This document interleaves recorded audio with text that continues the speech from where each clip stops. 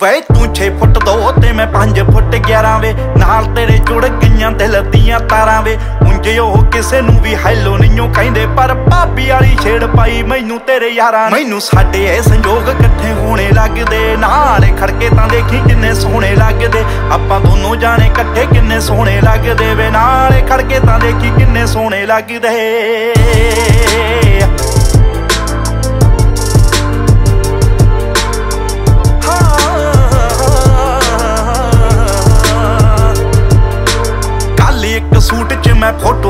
ਸੀ ਵੇ ਮੇਰੇ ਕਹਿਣ ਤੇ ਤੂੰ ਪਿੰਡ ਬੇਬੇ ਨੂੰ ਦਿਖਾਈ ਵੇ ਤੇਰੀ ਫੋਟੋ ਤਾਂ ਮੈਂ ਰੱਖਾਂ ਫੋਨ ਉੱਤੇ ਲਾਈ ਵੇ ਜੇ ਮੰਨ ਜਾਣ ਸਾਰੇ ਤਾਂ ਮੈਂ ਆਵਾਂ ਚਾਈ ਚਾਈ ਵੇ ਇੱਕ ਦੂਜੇ ਲਈ ਉਹ ਬਣੇ ਆਪਾਂ ਦੋਨੇ ਲੱਗਦੇ। ਨਾਲੇ ਖੜਕੇ ਤਾਂ ਦੇਖੀ ਕਿੰਨੇ ਸੋਹਣੇ ਲੱਗਦੇ। ਆਪਾਂ ਦੋਨੋਂ ਜਾਣੇ ਇਕੱਠੇ ਕਿੰਨੇ ਸੋਹਣੇ ਲੱਗਦੇ ਵੇ। ਨਾਲੇ ਖੜਕੇ ਤਾਂ ਦੇਖੀ ਕਿੰਨੇ ਸੋਹਣੇ ਲੱਗਦੇ।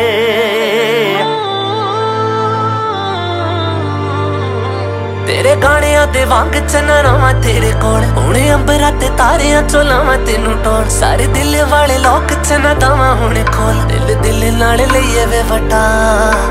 ਬਿਨ ਤੇਰੇ ਚਨਾ ਖਾਬ ਸੁਣੇ ਲੱਗਦੇ ਕੱਲੇ ਕੱਲੇ, ਬਿਨ ਤੇਰੇ ਜਿਵੇਂ ਫੁੱਲ ਲੱਗਦੇ।